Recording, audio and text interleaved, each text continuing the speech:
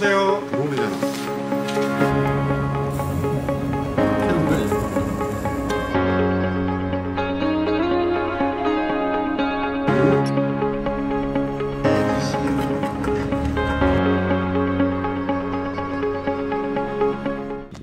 안녕하세요 바랍니다. 미니3 프로.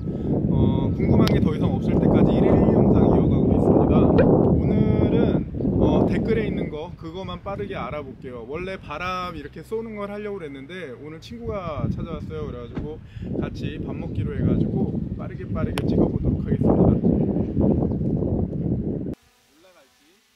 active track을 사용할 때 저를 따라올 때는 높낮이를 제대로 따라왔습니다. 반대로 제가 밀고 갈때 그때도 높낮이를 제대로 따라가는지 궁금해 하셔가지고 해봤는데 제대로 따라옵니다.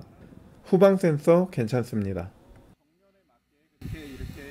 내려와서 찍을 텐데 그러면 여기에서 이륙을 시킨 다음에 다시 한번 해볼게요. 드론의 시작 지점을 새로 잡고 제가 밀고 가도록 하겠습니다. 그래서 제가 밑으로 내려갔을 때 드론이 같이 밑으로 내려오는지 아니면 위에서 나를 찍어주는지 그게 궁금해가지고 만들어 봤습니다. 제대로 내려와서 잘 찍어주네요.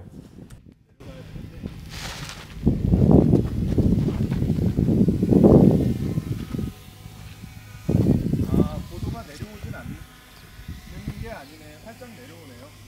active track에 대해서 제대로 알고 싶다고 얘기하신 분이 계십니다. 하지만 제가 마이크가 없는 관계로 여기에서 끝내고 다음 영상에서 제대로 다시 한번 알려드리도록 하겠습니다.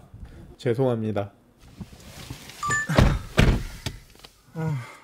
야 이거 길어지면 영상 힘든데 아무튼 가보자. active track 할 때 최대 속도가 궁금하다고 하셨습니다. 차로 했을 때 결론부터 얘기하자면 70km까지 가능했습니다. 그렇지만 이거는 한 번의 테스트고요. 다음에 다시 한번 테스트 해보도록 하겠습니다. 40. 오, 오 드론 막 대박.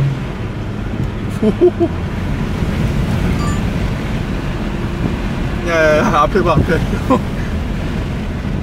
오 그만 그만 그만 와 놓치기 바로 직전이야. 얻는 가서 맛있는 거 먹으면서 편집을 해서 올리도록 하겠습니다. 궁금하신 거 있으면은 궁금하신 거 있으면은 저한테 댓글로 물어보시면은 최대한 실험을 바로 해갖고 올리도록 할게요. 뭐 만족스럽지 않으면은 다음날 또 물어보시면 돼요. active track에 대해서 제가 알려드린 것보다 더 필요한 거 있으면 또 물어보시면 됩니다. 여러분 음, 끝까지 시청해주셔서 감사하고요. 다음에 더 정확한 정보로 실험해 보도록 하겠습니다. 감사합니다. 끝!